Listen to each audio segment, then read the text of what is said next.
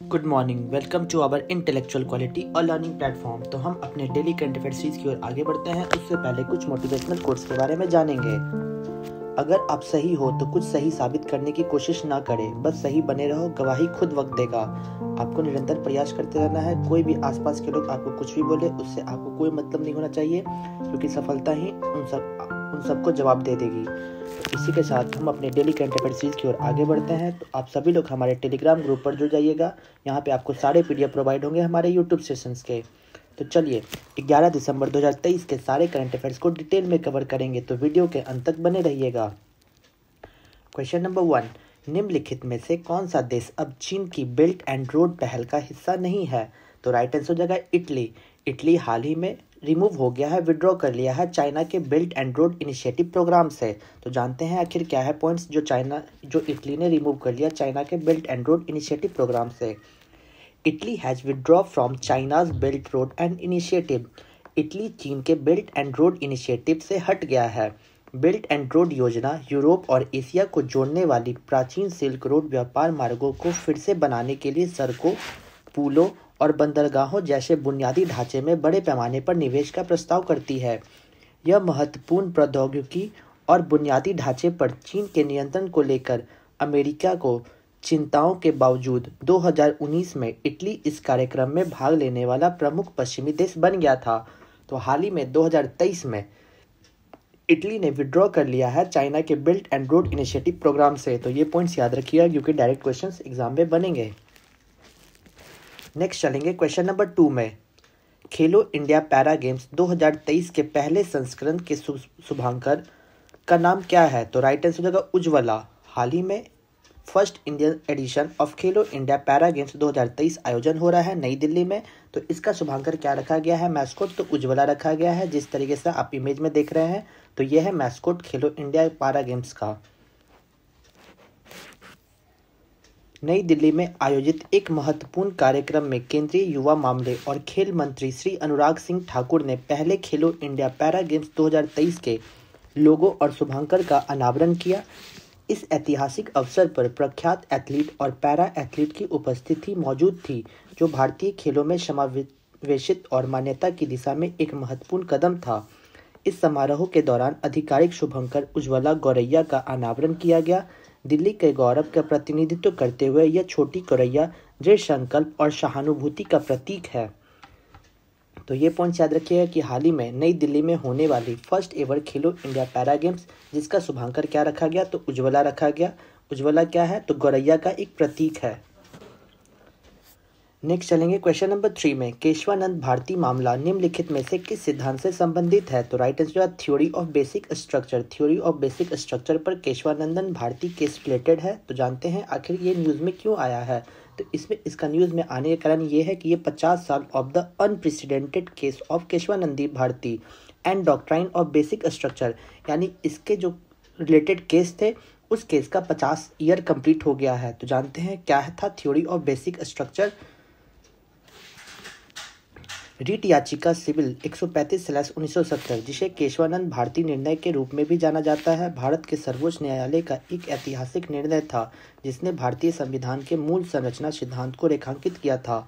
इस मामले का मौलिक अधिकार मामले के नाम से भी जाना जाता है। तो आखिर ये क्यों न्यूज़ में था? तो केशवानंदन भारतीय जजमेंट के दौरान ये बताया गया था कि भारतीय संविधान में कोई भी संशोधन होगा तो इसका मूल ढांचा चेंज नहीं होगा, यानी फंडामेंटल जो कर्तव्य है, कोई भी संशोधन होगा, कोई भी अमेंडमेंट होगा तो भारतीय संशोधन में, भारतीय कॉन्स्टिट्यूशन में संविधान का कोई भी मूल ढांचा चेंज नहीं होना चाहिए। था ये था केशवानंदन भारती का, इसका पचास ईयर कंप्लीट हो गया इस जजमेंट का तो इसलिए इसको न्यूज़ में फिर से आया है। नेक्स्ट चलेंगे क्वेश्चन नंबर फोर में। हाल ही में आयोजित मौद्रिक नीति समिति में वित्त वर्ष 24 के लिए आरबीआई की वास्तविक जीडीपी वृद्धि का अनुमान क्या है? तो राइट आंसर जाएगा सात परसेंट। सात परसेंट अनुमान लगाया गया है मॉनेटरी पॉलिसी कमेटी के द्वारा कि आरबीआई का GDP growth projection financial year 2024 में होने वाला है सात परसेंट। तो चलिए इसके पॉइंट्स के बारे में जानते हैं। भारतीय रिज़र्व बैंक आरबीआई के गवर्नर शक्तिकांत दास ने वित्तीय वर्ष 2023-24 की पांचवी मौद्रिक नीति का अनावरण किया।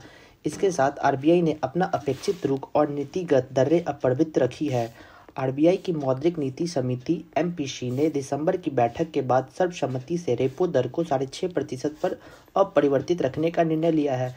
ये पॉइंट याद रखिएगा कि जो रेपो रेट है वो चेंज नहीं हुआ, वो सिक्स पॉइंट फाइव परसेंट पे बना हुआ है। चालू वर्ष के लिए विकास दर का साढ़े छः प्रतिशत से बढ़ाकर सात प्रतिशत कर दिया गया है और इस चालू वर्ष के लिए सीपीआई मुद्रास्फीति का 5.4 प्रतिशत पर बनाए रखा गया है। जीडीपी वृद्धि में मज़बूत होने के साथ साथ सीपीआई मुद्रास्फीति को चार प्रतिशत के स्तर पर लाने पर ध्यान केंद्रित किया जाएगा और मौद्रिक नीति से अवशफितकारी होने की उम्मीद है। तो चलिए नेक्स्ट क्वेश्चन नंबर फाइव में चलेंगे। हाल ही में राष्ट्रीय समीक्षा बोर्ड द्वारा किस फ़िल्म को वर्ष 2023 की सर्वश्रेष्ठ फ़िल्म घोषित किया गया है? तो राइट आंसर हो जाएगा Killer of the Flower Moon Killer of the Flower Moon को हाल ही में best film of the year 2023 by National Board of Review के द्वारा बताया गया है। संगठन ने घोषणा की कि नेशनल बोर्ड ऑफ़ रिव्यू द्वारा Killer of the Flower Moon को सर्वश्रेष्ठ चित्र यानी फ़िल्म का नाम दिया जाएगा। पिछले तीस वर्षों में ये एनबीआर की सर्वश्रेष्ठ फ़िल्म की विजेता के आमतौर पर सर्वश्रेष्ठ फ़िल्म के लिए ऑस्कर नामांकन प्राप्त हुआ है, जो हर दशक में एक बार को छोड़कर किया जाता है। 2014 में अ मोस्ट वायलेंट ईयर था 2000 में क्विल्स था और 1998 में गॉड्स एंड मॉन्स्टर्स थे। 1980 के दशक में ये बताया जा रहा है कि उन्नीस सौ सतासी की एम्पायर ऑफ़ द सन और उन्नीस की बेट्रियल तकनीकी रूप से दो असफल रही। तो यही पॉइंट्स याद रखना है कि Killer of the Flower Moon हाल ही में best picture of the National Board of Review organisation के द्वारा अनाउंस किया गया कि Killer of the Flower Moon को बेस्ट फ़िल्म का दर्जा दिया जाएगा। क्वेश्चन नंबर सिक्स हाल ही में अमेरिकी विदेश विभाग द्वारा अंतर्राष्ट्रीय भ्रष्टाचार विरोधी चैंपियन पुरस्कार से किसे सम्मानित किया गया? तो राइट आंसर होगा निखिल दे। निखिल दे को हाल ही में सम्मानित किया गया international anti corruption championship award by the US State Department के द्वारा। तो जानते हैं इसके पॉइंट्स के बारे में। भारतीय सामाजिक कार्यकर्ता निखिल देजी को द्वारा और इनके ग्यारह अन्य को संयुक्त राज्य अमेरिका के विदेशी विभाग द्वारा अंतर्राष्ट्रीय भ्रष्टाचार विरोधी चैंपियन पुरस्कार से सम्मानित किया गया। USA Bureau of International Narcotics and Law Enforcement Affairs ने भारत में सरकारी कल्याण योजनाओं में भ्रष्टाचार के खिलाफ सामाजिक आंदोलन में उनकी भूमिका को स्वीकार किया। मजदूर किसान शक्ति संगठन के सह संस्थापक के रूप में निखिल दे के प्रयासों में से राजस्थान में सरकारी योजनाओं में जवाबदेही और पारदर्शिता बढ़ी है। अंतर्राष्ट्रीय भ्रष्टाचारी विरोधी चैंपियन पुरस्कार एसीसीए उन लोगों को मान्यता देता है जो जवाबदेही और पारदर्शिता को बढ़ावा देने के लिए काम करता है। 2021 में अंतर्राष्ट्रीय भ्रष्टाचार विरोधी चैंपियन पुरस्कार लॉन्च किया गया और हाल ही में निखिल दे को सम्मानित किया गया international anti corruption champions award by the United States department के द्वारा। तो ये पॉइंट्स आप याद रखिएगा। तो चलिए नेक्स्ट क्वेश्चन नंबर सेवन में चलते हैं। हाल ही में जूनियर विश्व मुक्केबाज चैंपियनशिप 2023 कहाँ आयोजित की गई? तो राइट आंसर हो जाएगा अर्मेनिया में। अर्मेनिया में हाल ही में जूनियर वर्ल्ड बॉक्सिंग चैंपियनशिप 2023 का अनावरण हुआ। तो जानते हैं इसके पॉइंट्स के बारे में। IBA junior world boxing championship 2023 तेईस नवंबर से लेकर चार दिसंबर 2023 तक येरेवन आर्मेनिया में आयोजित की गई थी। भारतीय दल ने आईबीए जूनियर विश्व मुक्केबाज चैंपियनशिप में तीन स्वर्ण, नौ रजत और पाँच कांस्य पदक सहित कुल सत्रह पदक जीते। इसके साथ भारत की युवा मुक्केबाज पायल 48 किलोग्राम में निशा बावन किलोग्राम में और आकांक्षा 70 किलोग्राम में शानदार प्रदर्शन किया और स्वर्ण पदक जीते।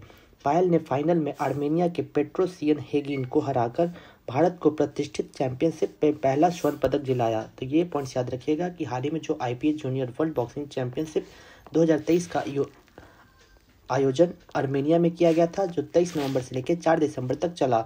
इसमें हमारे इंडियन के टीम ने तीन गोल्ड मेडल नाइन सिल्वर और पाँच ब्रॉन्ज मेडल के साथ टॉप पे बने रहे। टोटल कितने मेडल्स अचीव किए? तो सत्रह मेडल अचीव किए हैं इंडिया के द्वारा। नेक्स्ट क्वेश्चन नंबर एट में चलेंगे। हाल ही में अंतर्राष्ट्रीय नागरिक उड़ियन दिवस 2023 कब मनाया गया? तो राइट आंसर जाएगा सात दिसंबर। सात दिसंबर को हर वर्ष international civil aviation day celebrate किया जाता है। तो जानते हैं इसके पॉइंट्स के बारे में। अंतर्राष्ट्रीय नागरिक उड़ियन दिवस हर साल सात दिसंबर को मनाया जाता है। इस वर्ष का महोत्सव वैश्विक विमानन विकास के लिए उन्नत नवाचार की थीम पर आधारित है। यानी इंटरनेशनल सिविल एविएशन डे हर वर्ष सात दिसंबर को मनाया जाता है। इसका थीम हमको इम्पोर्टेंट है याद रखना कि इस वर्ष का थीम क्या है। तो advanced innovation for global aviation development यह विषय इस बात पर केंद्रित है कि भविष्य में नवाचार दुनिया भर में नागरिक उड़ियन को कैसे आकार देगा और उसमें किस तरीके से सुधार किया जाएगा। इसका तात्पर्य विमानन क्षेत्र को आगे बढ़ाना और सुधारने के लिए नवीन विचारों और तकनीकी सफलताओं को पता लगाने और उन्हें लागू करने की प्रतिबद्धता है। नवाचार पर ध्यान विमानन की सुरक्षा, दक्षता और स्थिरता में सुधार के लिए चल रहे प्रयासों के अनुरूप है। तो ये पॉइंट्स याद रखना है, क्योंकि एग्ज़ाम में डायरेक्ट क्वेश्चन आते हैं। इंपॉर्टेंट डे से तो इंटरनेशनल सिविल एविएशन डे सात दिसंबर को सेलिब्रेट किया जाता है। थीम क्या है? तो advance innovation for global aviation development चलिए नेक्स्ट क्वेश्चन नंबर नाइन में चलेंगे। प्रश्न के बदले नगद देने के आरोप में हाल ही में किसे लोकसभा से निष्कासित कर दिया गया? तो राइट आंसर महुआ मोएत्रा।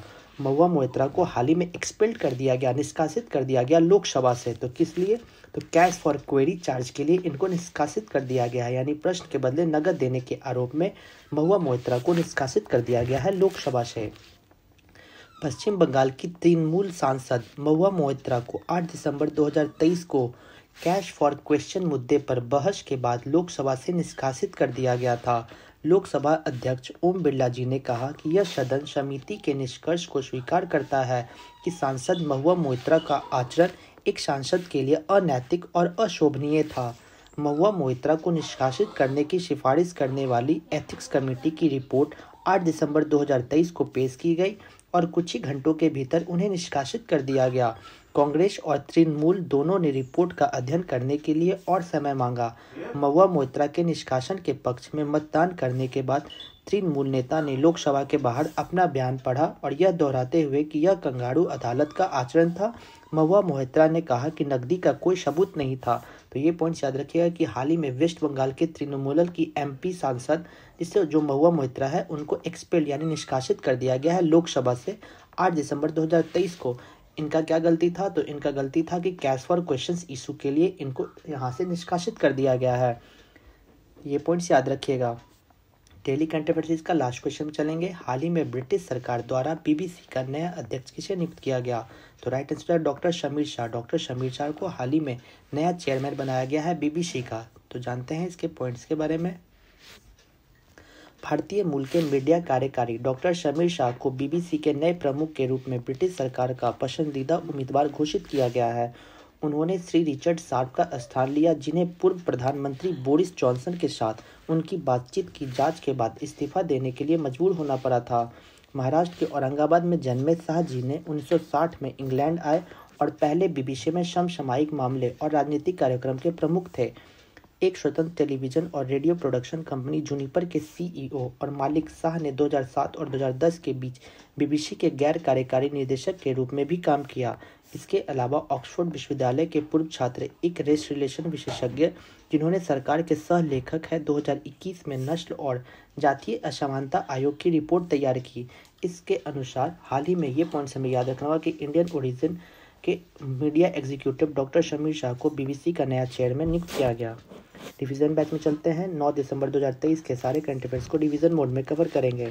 क्वेश्चन नंबर वन किस भारतीय विश्वविद्यालय ने कॉप 28 में प्रतिष्ठित ग्रीन यूनिवर्सिटी अवार्ड जीता तो आईआईटी मंडी के द्वारा? क्वेश्चन नंबर टू यूनेस्को द्वारा भारत के किस पारंपरिक नृत्य को मूर्त संस्कृति विरासत की सूची में जोड़ा गया? तो right answer garba. Question number three हाल ही में टाइम के 2023 एथलीट ऑफ़ द ईयर से लियोनल मेस्सी को सम्मानित किया गया। क्वेश्चन नंबर फोर हाल ही में पारित जम्मू और कश्मीर पुनर्गठन विधेयक 2023 के अनुसार जम्मू और कश्मीर विधानसभा में कितने सीटें होंगे? तो 114 सीटें होंगी। क्वेश्चन नंबर फाइव हाल ही में सियाचिन में तैनात होने वाले पहले चिकित्सा अधिकारी कौन है? तो captain Geetika Kaul. Question number six हाल ही में इंटरपोल की नाइन्टी फ़र्स्ट महासभा कहाँ आयोजित की गई? तो वेना में इसका आयोजन हुआ। क्वेश्चन नंबर सेवन हाल ही में एआई मॉडल जेमिनी किसने लॉन्च किया? तो गूगल के द्वारा इसे लॉन्च किया गया। क्वेश्चन नंबर एट दुनिया की सौ सबसे शक्तिशाली महिलाओं की सूची में शामिल भारत की चार महिलाओं में से किसे शीर्ष स्थान मिला? तो निर्मला सीतारमन जी को फ़र्स्ट पोजीशन मिला है दुनिया की सौ सबसे शक्तिशाली महिलाओं के क्षेत्र में। क्वेश्चन नंबर नाइन किस राज्य की लाकाडोंग हल्दी को भौगोलिक संकेत मिला? तो मेघालय राज्य के लाकाडोंग हल्दी को जीआई टैक्स से सम्मानित किया गया। क्वेश्चन नंबर टेन मिजोरम के नए मुख्यमंत्री के रूप में लाल दोहमा जी ने शपथ लिया है, जो जेडपीएम पार्टी से बिलोंग करते हैं। क्वेश्चन ऑफ़ द डे में चलते हैं तो आज का क्वेश्चन क्या है? कौन सा देश ब्रिटिश इंडियन आर्मी मेमोरियल बनाने के लिए तैयार है? Which country is set to build British Indian army memorial option A USA option B Germany option C Scotland option D France answer comment box में देना होगा। तो चलिए कुछ इंटरेस्टिंग फैक्ट की ओर आगे बढ़ते हैं। तो कवर कर रहे थे list of important articles of Indian constitution भाग नौ ए, भाग नौ ए में उल्लेख किया गया है द म्यूनसिपैलिटीज़ के बारे में, जिसमें आर्टिकल 243 पी से लेकर 243 जेड जी तक उल्लेख किया गया है। भाग नौ बी, भाग नौ बी में कोऑपरेटिव सोसाइटीज़ के बारे में डिस्क्राइब किया गया है, जिसमें आर्टिकल 243 जेड एच से लेकर 243 जेड टी तक होगा।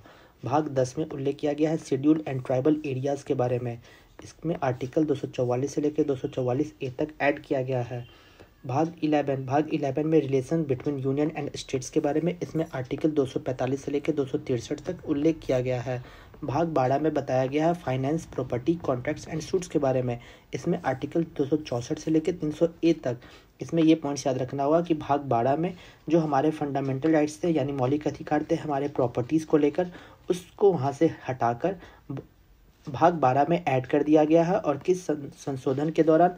तो भाग बारह में ऐड किया गया है फाइनेंशियल हमारे प्रॉपर्टीज़ राइट्स के बारे में राइट टू प्रॉपर्टीज़ आर्टिकल तीन सौ ए से ऐड किया गया है। तो यहाँ तक वीडियो को देखने के लिए thank you so much guys video को ज़्यादा से ज़्यादा हो सके तो लाइक शेयर और सब्सक्राइब करें ताकि और भी कंटेंट आपके पास पहुँच सके। जय हिंद, जय भारत दोस्तों।